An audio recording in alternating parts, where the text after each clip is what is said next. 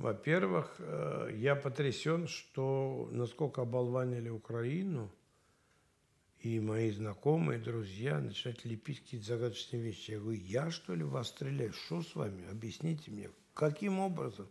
Я же не могу сам себя высечь. Я кто тебе? Каким, что происходит с вами со всеми? Почему вы считаете, что мы главные злодеи, мы лично, я и так далее? Я никак не могу понять. Настолько, так сказать, на них это обрушилось, что левой рукой они берут этот газ, электричество или там что-то еще, а правой рукой начинают нас же и кусать. Или там зубами. Какой-то сумасшедший дом. Еще орут, что у нас не та цена и так далее. Я вообще о другом говорю. Я не понимаю, что происходит. И я вписан в какие-то там черные списки и так далее. Но я обойдусь без Украины, слава богу. Но я не могу понять, зачем, что произошло. Ближе. Я вообще считаю, что государство наше должно было выглядеть Украина – Новороссия и Белоруссия. То есть Украина, ой, прости, Россия, значит, Новороссия, то есть Украина и Белоруссия. Вот эти три вместе бы должны были создать мощнейшее супергосударство. И все бы стало на свои места, у всех бы все хватало. Или как у всех бы и не хватало, но в рамках разумного.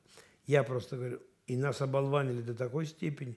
Сказать, что я сильно там верю нашим, ну я понимаю прекрасно, но не можем же мы залезать на ту сторону и стрелять в Луганск или в Донецк. Но это же глупость. Значит, не мы стреляем? Нет. Я в данном случае говорю, что у нас что-то активная какая-то а, политика? Нет, конечно, никакой. Мы, так сказать, я имею в виду военной доктрины, никакой против нет.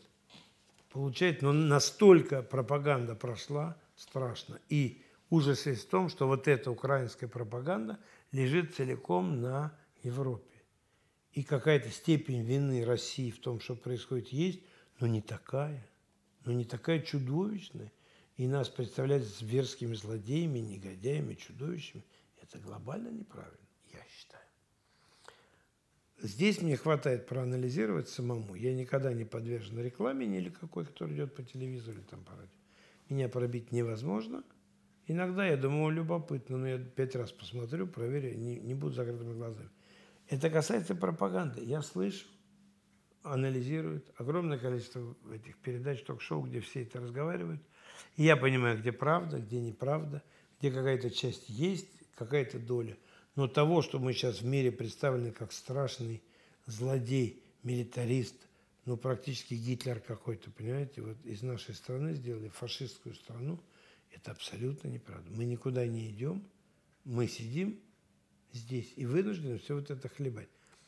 Неправы они наверняка наши, частично, но не так, как нас представляют. Поэтому найти, я лично для себя середину найду всегда, но то, что творится в обработке Украины э, против нас, это страшно просто. Они, так сказать, добились того, что те уже никогда в жизни не поверят, что мы вообще никакого отношения к этому всему не имеем.